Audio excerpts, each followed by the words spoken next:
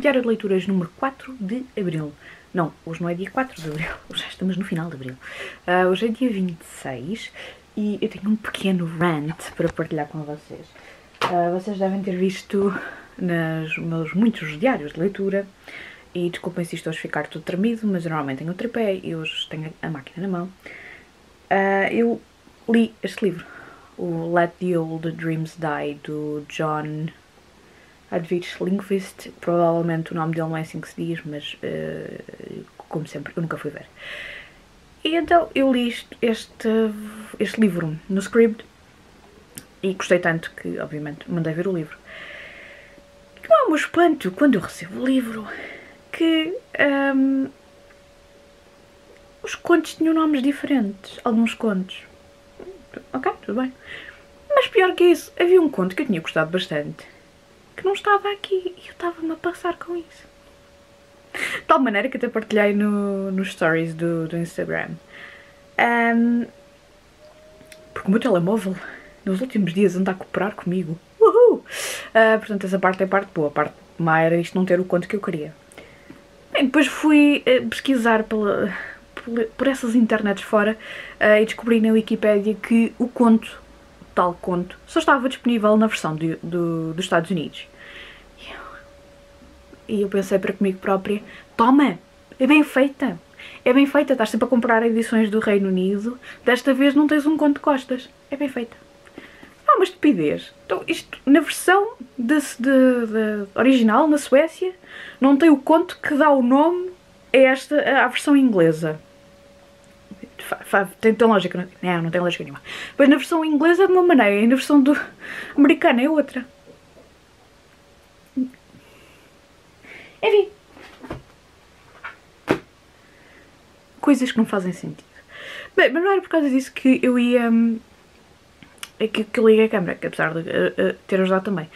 Eu queria mostrar como é que, nesta altura do mês, ou seja, no final do mês, como é que ficam as minhas pilhas de livros. Porque eu tenho pilhas de livros para o meu quarto todo é as pilhas de livros para ler no próximo mês e que estão a ser lidas, as pilhas de livros que já foram lidas e que estão ainda de parte, que é para depois fazer o wrap-up, uh, e as pilhas de livros que uh, estão a ser lidas, mas já não cabem no, no outro lado, uh, e aquelas que eu gostava ainda de ler este mês, mas que se calhar já não vou conseguir ler, mas de qualquer maneira estão ali postas de lado só para o caso de ainda dar. Então eu vou começar aqui por, por aquela, como hoje partilhei a minha TBR para o mês que vem. E há livros que estão na TBR, mas que não estão na TBR no vídeo, portanto, aqui vai ele. Portanto, aqui é onde estão normalmente os livros que são para ler. Estou aqui na minha secretária. Começar ali, ali o Blonde, seguido pelo My Sister, My Love, que está parado desde sabe-se lá quando. O Terror, uh, o The Butcher's Hook, que eu ainda estou a ponderar se vou abandonar o livro ou não. O Morel Spark, que vai ser para ler alguns contos. O Histórias Assim Mesmo, do Rudyard Kipling. O livro da Anne Bronte, porque acho que vai haver leitura conjunta no início de maio. Como se eu não tivesse poucas leituras conjuntas em maio. Culpa minha, não é de mais ninguém. Uh, o Nosferatu, do Joe Hill, que tenho que retomar. O Outsider, The Outsider, do Stephen King, que vai ser uma Stephen King de maio, porque o livro entretanto chegou, vocês viram isso no último diário de leituras. Uh, o Bernard Cornwell, finalmente vou ler o Bernard Cornwell. Aliás, já comecei a ler. Houve um dia destes que comecei a ouvir o audiobook e já ouvi 70 páginas, estou a gostar. O Filho de Thor, de Juliet Marilli, isso para mim é Peanuts, portanto é para ler no instante. O The Omen, do David Seltzer, espero gostar da escrita. E uh, os contos do Maupassant. Portanto, isto é, faz parte das coisas para ler durante o próximo mês. Uh, os livros que já estão começados, que neste caso seria só o Nosferatu e uh, o The Butcher's Hook, uh, potencialmente são livros para ir lendo. Depois aqui deste lado, os livros que estão a ser lidos. O Ghost Stories, a antologia de, de, de contos de fantasmas, que eu gostava de tê-la lido toda este mês, mas eu já sabia que ia ser um pouco complicado porque são 40 contos. Não é que eu não tenha lido 40 contos, mas não de fantasmas. Um, o do Roald Dahl, que não era suposto eu ler, mas eu decidi uh, continuar a ler, portanto esse é, também é para ir lendo. O Small Gods do Terry Pratchett, que está sensivelmente a meio, também é para continuar entretanto. A Fundação é mesmo para terminar, sou a única pessoa da leitura conjunta que não terminou. Shame on me. Um, o da Ursula Le Guin, o Tales from Earthsea, que também é um livro de contos, também está por começar, e o do Prickle Moon também está por começar. Já tenho ali, já estive a colocar um marcador de livros em cada um deles para ver se ainda os começo. Esta é a pilha de livros lidos, com exceção ali de um livro que uh, eu li apenas 5 contos, mas não vou ler mais nenhum uh, este mês portanto é como se tivesse uh, terminado a leitura, por agora pelo menos. Portanto, isto fica assim uma desarrumação fantástica, daí a minha obsessão, ou não, de estar sempre a arrumar e a desarrumar livros. Vamos ver o que é que eu ainda consigo ler até o final do mês e até um próximo update. Penúltimo dia do mês e eu acho que vou ficar com muitos livros para acabar. Para aqueles que eu já desisti, isto está em contra-luz, não é boa ideia. Ok, assim está melhor. Desisti que eu já sei que não vou acabar de ler, por exemplo, o livro do Roald Dahl. Eu li dois contos, portanto eu não vou avançar muito mais neste livro. Um, o livro da Clarice Lispector eu li cinco contos, mas também não vou neste momento não apetece ler mais, uh, irá ficar para uma outra altura.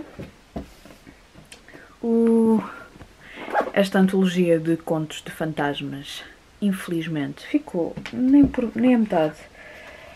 Uh, mas pronto, eu estou a gostar, vai ser para continuar a ler. Só não sei se vai ser em maio, porque eu em maio tive mais olhos que barriga e... Enfim, este vai ser o único que eu vou ter mesmo que terminar este mês, porque... Um, porque é que eu não tenho pegado no livro? Porque eu já tenho uma, uma opinião formada sobre o livro. Eu não estou à espera que o livro chegue a lado nenhum nas últimas duas partes. Um, pelo menos nada de muito definitivo, afinal é apenas um livro, o primeiro livro de uma série, portanto até pode, até pode surpreender. Mas eu não estou à espera que ele vá a lado nenhum, uh, por isso mesmo ele está parado. Um, o que é mau, uh, porque eu vou começar uma série de leituras conjuntas nos próximos dias, portanto isto vai dar mau resultado ter assim muitos livros. Prickle Moon da Juliet Marília, infelizmente também só li o primeiro conto e não creio que vá conseguir ler mais nada este mês deste livro, porque, entretanto, descobri que tinha o audiobook do Tales from Earthsea e comecei a ouvir a primeira novela que aparece neste livro que vai até ali aquele post-it verde, portanto quase meio do livro e hum, está a ser muito fixe.